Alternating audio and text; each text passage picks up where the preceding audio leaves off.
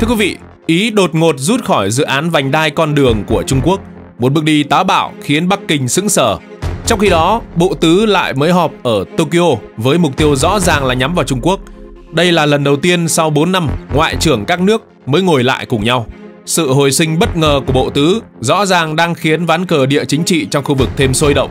Đó là chưa kể đến cuộc chạy đua vũ khí siêu vượt âm đang nóng lên từng ngày giữa các ông lớn Mỹ, Nga, Trung. Trong video hôm nay, chúng ta sẽ tìm hiểu tất cả những câu chuyện đó. Vì sao Ý rút khỏi vành đai con đường? Hồi cuối năm 2023, Ý cho biết tập đoàn vận tải biển Trung Hoa Costco giữ thái độ dè dặt, chậm trễ trong các khoản đầu tư vào dự án vành đai và con đường BRI của Trung Quốc. Dù thế nào đi nữa, ngày càng có nhiều sự khó chịu ở Ý và nhiều nước châu Âu liên quan đến BRI vì lo ngại về an ninh cũng như những gì một số người mô tả là lời hứa suông về kinh tế. Ý, quốc gia duy nhất trong G7 chính thức tham gia BRI, đã ra tín hiệu muốn rút lui. Đến ngày 29 tháng 7 năm nay, ông Tập Cận Bình đã gặp Thủ tướng Ý Meloni sau khi Ý rút khỏi sáng kiến vành đai và con đường. Việc Ý rút khỏi dự án BRI của Trung Quốc có thể được hiểu qua nhiều lý do. Thứ nhất, lợi ích kinh tế không rõ ràng. Các dự án BRI tại Ý có thể không mang lại lợi ích kinh tế như mong đợi, đặc biệt là trong bối cảnh kinh tế toàn cầu biến động và tình hình tài chính khó khăn sau đại dịch Covid-19. Ý có thể lo ngại về việc tăng nợ công do các khoản vay từ Trung Quốc để tài trợ cho các dự án BRI. Các dự án này có thể không mang lại lợi ích tương xứng với chi phí và gánh nặng nợ nần. Thứ hai, áp lực từ các đối tác châu Âu và Mỹ. Là một thành viên của Liên minh châu Âu EU, Ý có thể đối mặt với áp lực từ các nước đối tác trong EU. Những người lo ngại về ảnh hưởng của Trung Quốc trong khu vực. EU đã bày tỏ lo ngại về sự minh bạch và tiêu chuẩn của các dự án BRI. Đồng thời, dưới áp lực từ Mỹ, một đồng minh chiến lược và đối tác kinh tế quan trọng, Ý có thể đã xem xét lại sự tham gia của mình trong BRI. Mỹ đã nhiều lần chỉ trích BRI và khuyến khích các đồng minh của mình tránh xa sáng kiến này. Hơn nữa, việc tham gia BRI có thể làm tăng sự hiện diện và ảnh hưởng của Bắc Kinh tại Ý. Điều này có thể gây ra lo ngại về an ninh quốc gia và chủ quyền. Thứ ba đó là định hướng lại chính sách đối ngoại. Ý có thể muốn định hướng lại chính sách đối ngoại của mình theo hướng đa phương hơn, tăng cường quan hệ với các đối tác truyền thống và các tổ chức quốc tế khác thay vì phụ thuộc quá nhiều vào Trung Quốc. Ý có thể tìm cách duy trì một mối quan hệ cân bằng với cả phương Tây và Trung Quốc thay vì bị ràng buộc quá chặt chẽ vào một bên. Việc rút lui khỏi BRI có thể là một phần của chiến lược này. Thứ tư, đó là quan ngại của công chúng. Công chúng nước Ý có thể có quan ngại về việc tham gia vào các dự án BRI, đặc biệt nếu các dự án này không mang lại lợi ích rõ ràng hoặc có nguy cơ gây hại cho môi trường và xã hội. Các doanh nghiệp Ý có thể không thấy lợi ích rõ ràng từ các dự án BRI hoặc gặp khó khăn trong việc hợp tác với các đối tác Trung Quốc do khác biệt văn hóa, quản lý và pháp lý. Vậy cho nên, quyết định của Ý rút khỏi dự án BRI có thể xuất phát từ nhiều lý do phức tạp, bao gồm các yếu tố chính trị, kinh tế, chiến lược và phản ứng của công chúng. Mặc dù BRI mang lại tiềm năng về phát triển cơ sở hạ tầng và kinh tế, các rủi ro và áp lực liên quan cũng có thể làm cho Ý quyết định xem xét lại sự tham gia của mình trong sáng kiến này.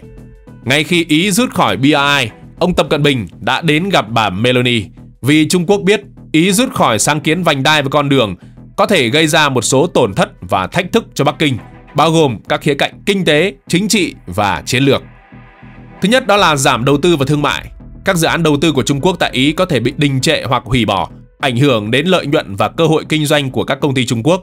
Thương mại song phương cũng bị ảnh hưởng. Việc rút lui có thể làm giảm khối lượng thương mại song phương giữa Ý và Trung Quốc, đặc biệt là trong các lĩnh vực cơ sở hạ tầng, năng lượng và công nghiệp. Nó cũng ảnh hưởng đến tài chính. Các ngân hàng và tổ chức tài chính của Trung Quốc có thể gặp khó khăn trong việc hoàn vốn và thu hồi các khoản đầu tư đã rót vào các dự án tại Ý. Thứ hai đó là tổn thất về chiến lược và chính trị. Việc một quốc gia phát triển như là nước Ý rút khỏi BRI có thể gây ra suy giảm uy tín và ảnh hưởng của sáng kiến này trên trường quốc tế. Điều này có thể làm giảm sự hấp dẫn của BRI đối với các quốc gia khác.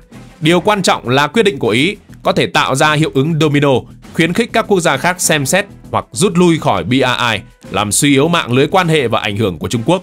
Đặc biệt, Ý là một thành viên của Liên minh châu Âu và NATO. Sự rút lui của họ có thể làm tăng sự lo ngại và cảnh giác của các đối tác chiến lược của Trung Quốc tại châu Âu và các khu vực khác. Điều này có thể làm gia tăng căng thẳng giữa Trung Quốc và Liên minh châu Âu, ảnh hưởng đến các cuộc đàm phán và hợp tác trong các lĩnh vực khác. Và thứ ba, đó là ảnh hưởng đến các mục tiêu toàn cầu của BRI. Ý là một trong những cửa ngõ quan trọng của Trung Quốc vào thị trường châu Âu. Việc rút lui có thể làm giảm khả năng tiếp cận và mở rộng của Trung Quốc tại khu vực này. Hơn nữa, các tuyến đường vận tải và logistics mà Trung Quốc xây dựng qua Ý có thể bị ảnh hưởng, làm giảm hiệu quả của các hành lang kinh tế và thương mại. Như chúng ta đã biết, BRI không chỉ là về cơ sở hạ tầng mà còn về xây dựng các mối quan hệ kinh tế, chính trị và xã hội bền vững. Việc một quốc gia quan trọng như Ý rút lui có thể làm giảm hiệu quả và mục tiêu dài hạn của sáng kiến này. Do đó, việc Ý rút khỏi sáng kiến vành đai và con đường có thể gây ra những tổn thất đáng kể cho Trung Quốc, không chỉ về mặt kinh tế mà còn uy tín và ảnh hưởng chiến lược trên trường quốc tế. Điều này có thể làm suy yếu nỗ lực của Bắc Kinh trong việc xây dựng một mạng lưới toàn cầu dưới BRI và gây ra các thách thức trong quan hệ quốc tế và thương mại. Vâng thưa quý vị, trong bối cảnh này, nếu ông Tập Cận Bình không muốn đánh lái bánh xe chiến lược của mình thì ông ấy buộc phải thỏa hiệp. Chẳng hạn Trung Quốc có thể cung cấp các khoản vay với lãi suất thấp hơn hoặc điều khoản tài chính linh hoạt hơn để giảm gánh nặng nợ nần cho Ý hoặc kéo dài thời gian trả nợ có thể giúp Ý quản lý tài chính tốt hơn và cảm thấy ít áp lực hơn từ các dự án BRI.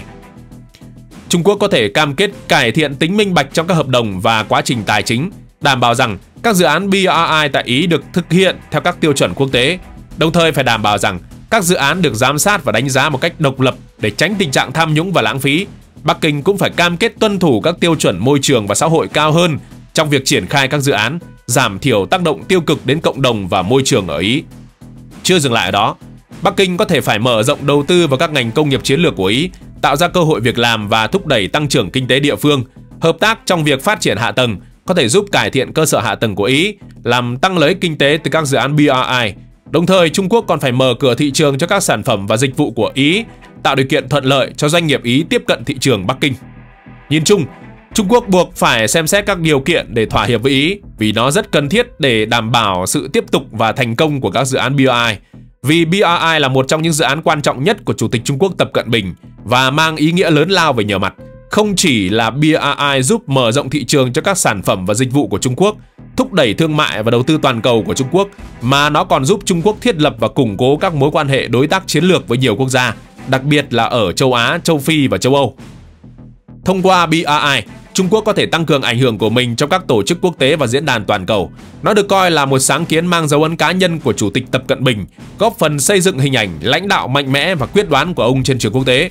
Việc thành công của BRI sẽ là một phần quan trọng trong di sản chính trị của ông Tập, củng cố vị thế của ông trong lịch sử Trung Quốc. Quan trọng hơn, BRI giúp Trung Quốc cân bằng và đối phó với ảnh hưởng của Mỹ và các cường quốc khác trong khu vực và trên toàn cầu. Tất cả điều này giải thích lý do vì sao ông Tập đã phải đi gặp Thủ tướng Ý Meloni khi nước này rút khỏi BRI. Trong khi ông Tập ở thế phải thỏa hiệp với Ý, thì ở bên này, Úc, Ấn Độ, Nhật Bản và Hoa Kỳ đã nhấn mạnh sự đoàn kết và cam kết mở rộng hợp tác về an ninh mạng và an ninh hàng hải ở Ấn Độ Dương-Thái Bình Dương do lo ngại về tình hình ở Biển Đông và Biển Hoa Đông. Họ đã đưa ra tuyên bố chung và nhắc lại lập trường phản đối mạnh mẽ của họ đối với bất kỳ hành động đơn phương nào tìm cách thay đổi nguyên trạng bằng vũ lực hoặc cưỡng ép. Liên minh Bộ Tứ mở rộng các sáng kiến hàng hải, an ninh mạng Ấn Độ Dương, Thái Bình Dương.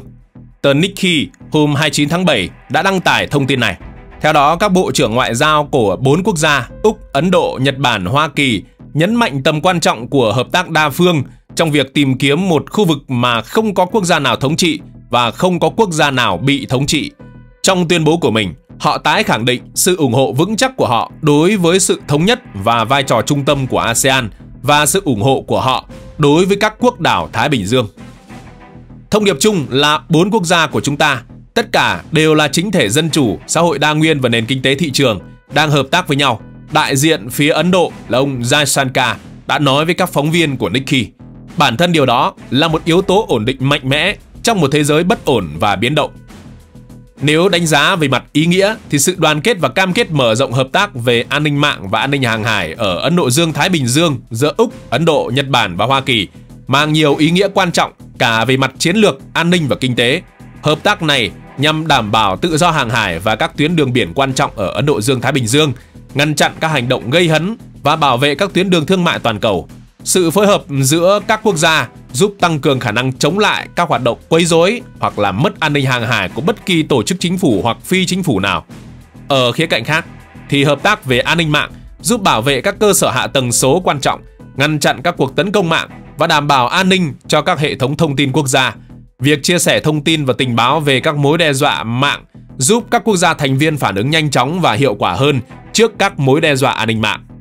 Mặc dù tuyên bố chung của Bộ Tứ không nêu đích danh Trung Quốc, nhưng được đưa ra sau khi Bắc Kinh tiến hành một loạt cuộc tập trận quân sự tại vùng biển quanh Đài Loan vào tháng 5 và tăng cường các hoạt động quân sự chung với Nga ở Biển Đông vào đầu tháng này, ngụ ý tới việc đối phó với Trung Quốc và Nga ở khu vực. Về mặt chiến lược, sự đoàn kết của Bộ Tứ nhằm đối phó với sự trỗi dậy của Bắc Kinh. Vì Trung Quốc ngày càng gia tăng hiện diện và quyền lực ở Biển Đông và Ấn Độ Dương, Bắc Kinh đã có những hành động quyết đoán đến thô bạo trong xử lý tranh chấp. Điều này đã tạo ra nhiều lo ngại về an ninh. Sự hợp tác giữa các quốc gia này giúp cân bằng ảnh hưởng của Trung Quốc và bảo vệ lợi ích chung. Đồng thời, sự đoàn kết này cũng củng cố chiến lược Ấn Độ Dương-Thái Bình Dương tự do và rộng mở nhằm đối phó với các hành động gây hấn và mở rộng ảnh hưởng của Trung Quốc. Khi các quốc gia này tiến hành các cuộc tập trận chung và hợp tác quân sự, chúng sẽ giúp nâng cao khả năng phối hợp và sẵn sàng chiến đấu của các lực lượng quân sự của các quốc gia này. Như vậy, trong trường hợp phải mạnh tay với Trung Quốc, họ có thể thực hiện tác chiến nhanh. Nhưng một khó khăn tiềm ẩn đối với Bộ Tứ hay ngay cả với Mỹ là trong cuộc chạy đua về công nghệ vũ khí, Mỹ lại đang tụt lại phía sau so với đối thủ về vũ khí siêu vật âm. Cuộc chạy đua về vũ khí siêu vật âm Như chúng ta đã biết, vũ khí siêu vật âm là loại vũ khí tiên tiến có khả năng bay với tốc độ ít nhất là Mach 5, tức là gấp 5 lần tốc độ âm thanh và có khả năng cơ động cao, khiến chúng trở nên rất khó phát hiện và đánh chặn. Tính đến hiện tại, chỉ có một số quốc gia đang phát triển và sở hữu công nghệ vũ khí siêu vật âm. Đầu tiên là Nga, có tên lửa siêu vật âm Avangard có khả năng bay với tốc độ lên tới Mach 20 và được trang bị đầu đạn hạt nhân. Bên cạnh đó còn có Zircon, một tên lửa hành trình siêu vật âm với khả năng đạt tốc độ Mach 8 đến Mach 9. Thêm nữa là Kinzan một tên lửa đạn đạo phóng từ trên không đạt tốc độ Mach 10 và có thể mang đầu đạn thông thường hoặc hạt nhân. Quốc gia thứ hai là Trung Quốc, họ có dfzf một phương tiện bay siêu vật âm được triển khai trên tên lửa đạn đạo, có khả năng đạt tốc độ từ Mach 5 đến Mach 10 Họ còn có Đông Phong 17, một hệ thống tên lửa đạn đạo tầm trung trang bị phương tiện bay siêu vật âm, chính thức được trình diễn vào năm 2019. Trong khi đó thì Hoa Kỳ mới chỉ có AGM-183A là một loại tên lửa siêu vật âm phóng từ trên không, nhưng nó lại đang trong giai đoạn thử nghiệm. Nhưng Mỹ cũng có CHGB, một phương tiện bay siêu vật âm được phát triển để sử dụng trên các nền tảng khác nhau, bao gồm cả tên lửa đạn đạo phóng từ mặt đất và từ tàu chiến Ấn Độ thì cũng đang trong các giai đoạn thử nghiệm, mặc dù họ có BrahMos 2, một tên lửa hành trình siêu vật âm đang được phát triển hợp tác với Nga, dự kiến sẽ đạt tốc độ Mach 7. Các quốc gia khác như là Pháp, Nhật Bản và Australia cũng chỉ đang trong giai đoạn nghiên cứu và phát triển công nghệ siêu vật âm. Nhưng họ chưa có các hệ thống vũ khí siêu vật âm hoạt động như là quốc gia mà đã liệt kê ở trên. Ờ, như vậy có thể thấy, tính đến thời điểm hiện tại, các quốc gia có vũ khí siêu vật âm hoạt động là Nga, Trung Quốc, còn Hoa Kỳ và Ấn Độ thì đang trong giai đoạn thử nghiệm. Những nước khác cũng đang theo đuổi công nghệ này nhưng chưa đạt được mức độ triển khai tương tự. Để thúc đẩy việc đối phó với vũ khí siêu vượt âm, Mỹ và Nhật đã bắt tay nhau hợp tác. Trang tin tức của Bộ Quốc phòng Mỹ cũng đăng tải thông tin này. Câu hỏi đặt ra là tại sao Mỹ lại chọn hợp tác với Nhật để đối phó với mối đe dọa từ vũ khí siêu vật âm? Có nhiều lý do để giải thích cho mối quan hệ hợp tác này. Một là hai nước này có quan hệ đồng minh mạnh mẽ và đáng tin cậy. Mỹ và Nhật Bản có hiệp ước an ninh song phương từ sau Thế chiến II, cam kết bảo vệ lẫn nhau. Nhật Bản là một trong những đồng minh quan trọng và đáng tin cậy nhất của Mỹ ở châu Á. Hai nước đã có nhiều năm hợp tác quân sự, chia sẻ thông tin tình báo và tiến hành các cuộc tập trận chung, tạo ra một mối quan hệ quốc phòng mạnh mẽ và hiệu quả. Hai là năng lực công nghệ cao. Nhật Bản có nền tảng công nghệ tiên tiến và là một trong những quốc gia dẫn đầu thế giới về nghiên cứu và phát triển. Năng lực sản xuất và phát triển công nghệ của Nhật Bản đặc biệt là trong lĩnh vực điện tử, vật liệu và kỹ thuật, rất phù hợp để phát triển và đối phó với các vũ khí siêu vật âm. Hơn nữa Nhật Bản và Mỹ đã có nhiều dự án hợp tác công nghệ cao, bao gồm các dự án trong lĩnh vực quốc phòng và an ninh. 3. Là vị trí chiến lược. Nhật Bản nằm gần Trung Quốc và Bắc Triều Tiên, hai quốc gia đang phát triển vũ khí siêu vật âm. Vị trí địa lý của Nhật Bản giúp Mỹ có thể triển khai và thử nghiệm các hệ thống phòng thủ một cách hiệu quả và nhanh chóng, Nhật Bản cũng có nhiều căn cứ quân sự của Mỹ, bao gồm căn cứ hải quân, không quân và lực lượng phòng thủ tên lửa. Điều này giúp Mỹ triển khai các hệ thống phòng thủ và phối hợp hành động dễ dàng hơn. 4 là họ có mối đe dọa chung từ Trung Quốc và Bắc Triều Tiên. Trung Quốc và Bắc Triều Tiên đang phát triển và thử nghiệm các vũ khí siêu vượt âm, tạo ra mối đe dọa lớn đối với an ninh khu vực và toàn cầu. Cả Mỹ và Nhật Bản đều có lợi ích chung trong việc phát triển các biện pháp đối phó hiệu quả. 5 là hợp tác đa phương và chia sẻ gánh nặng. Hợp tác với Nhật Bản cho phép Mỹ chia sẻ chi phí và nguồn lực cần thiết cho việc phát triển và triển khai các hệ thống phòng thủ chống vũ khí siêu vượt âm. Hợp tác với các đồng minh không chỉ giúp chia sẻ gánh nặng mà còn tạo ra sự đoàn kết quốc tế trong việc đối phó với các mối đe dọa toàn cầu. 6 là chính sách quốc phòng của Nhật Bản. Nhật Bản đang tăng cường năng lực quốc phòng của mình để đối phó với các mối đe dọa từ khu vực, bao gồm việc phát triển các hệ thống phòng thủ tên lửa và khả năng đối phó với vũ khí siêu vượt âm. Đặc biệt, Nhật Bản cam kết tăng cường hợp tác quốc phòng với Mỹ và các đồng minh khác để duy trì hòa bình và ổn định khu vực. Do đó, Mỹ chọn hợp tác với Nhật Bản để đối phó với vũ khí siêu vượt âm vì mối quan hệ đồng minh mạnh mẽ, năng lực công nghệ tiên tiến, vị trí địa lý chiến lược, mối đe dọa chung từ các đối thủ trong khu vực và khả năng phân chia chi phí và nguồn lực. Những yếu tố này tạo ra một nền tảng vững chắc cho sự hợp tác hiệu quả và bền vững giữa hai quốc gia trong việc đối phó với mối đe dọa từ vũ khí siêu vượt âm. Đánh giá một cách toàn diện, việc Nhật Bản hợp tác với Mỹ để đối phó với vũ khí siêu vượt âm mang lại nhiều lợi ích chiến lược, nhưng cũng đi kèm một số rủi ro. Việc Nhật hợp tác chặt chẽ với Mỹ trong lĩnh vực quốc phòng và phát triển các hệ thống phòng thủ chống vũ khí siêu vượt âm có thể khiến họ trở thành mục tiêu quân sự quan trọng hơn đối với các quốc gia như là Trung Quốc và Bắc Triều Tiên. Các quốc gia phát triển vũ khí siêu vượt âm có thể tập trung nỗ lực để vượt qua các hệ thống phòng thủ của Nhật Bản, dẫn đến sự gia tăng nguy cơ tấn công. Đồng thời, sự hợp tác này có thể làm gia tăng căng thẳng với Trung Quốc và Bắc Triều Tiên, đặc biệt là trong bối cảnh các nước này coi động thái của Nhật và Mỹ là mối đe dọa trực tiếp đến an ninh của họ. Căng thẳng gia tăng có thể dẫn đến nguy cơ xung đột quân sự, đặc biệt là trong các tình huống khủng hoảng và hiểu lầm chiến lược. Một vấn đề nữa là chi phí quốc phòng tăng cao. Việc phát triển và triển khai các hệ thống phòng thủ chống vũ khí siêu vật âm đòi hỏi chi phí lớn. Điều này có thể gây áp lực lên ngân sách quốc phòng của Nhật Bản và làm giảm nguồn lực dành cho các lĩnh vực kinh tế và xã hội khác. Bên cạnh chi phí ban đầu, Nhật Bản cũng sẽ phải đối mặt với chi phí duy trì và nâng cấp các hệ thống phòng thủ này theo thời gian. Mặt khác, ở góc độ kinh tế, căng thẳng gia tăng với Trung Quốc, một đối tác thương mại lớn của Nhật Bản, có thể ảnh hưởng đến quan hệ thương mại và đầu tư giữa hai nước. Trung Quốc có thể thực hiện các biện pháp trả đũa kinh tế, chẳng hạn như là áp đặt thuế quan, hạn chế xuất khẩu hoặc đầu tư vào Nhật Bản, gây thiệt hại cho nền kinh tế của nước này. Đây cũng là rủi ro và áp lực đối với chính quyền của Thủ tướng Nhật Bản đương nhiệm Kishida. Vì trong nội bộ nước Nhật, một phần dân chúng nước này có thể phản đối việc tăng cường hợp tác quân sự với Mỹ, đặc biệt là nếu họ cảm thấy điều này làm tăng nguy cơ xung đột và không đảm bảo an ninh quốc gia.